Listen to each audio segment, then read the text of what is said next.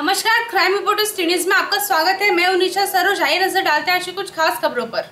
सोनभद्र से बड़ी खबर सामने आ रही है। यहाँ सड़ी गली अवस्था में अज्ञात महिला व पुरुष का मिला शव। शव मिलने से क्षेत्र में सनसनी मच गई। कुछ दिन पूर्व ही शव होने का लगाया गया था अनुमान। दोनों शवों की नहीं हो सकी अभी तक कोई पहचान। पुलिस मौके पर पहुंचकर जाँच में जुटी है। ओबरा थाना क्षेत्र के मालवीय नगर के समीप की घटना बताई जा रही है। थोड़ा बता दीजिए हाँ, ये अभी थोड़ी देर पहले सूचना मिली थी कि यहाँ ओबरा पुलिस स्टेशन है। उसके क्षेत्र में दो डेड बॉडी मिली है। पुलिस वहाँ वहाँ पे गई तो एक उसमें लेडी है एक जेंट है।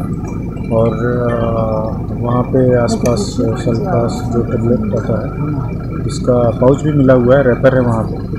अब प्रथम दृष्टिया मामला आत्महत्या का लग रहा है क्योंकि ऐसे रिमोट एरिया में है कि वहाँ सामान्य आदमी वहाँ तक पहुँच ही नहीं बना सकता है।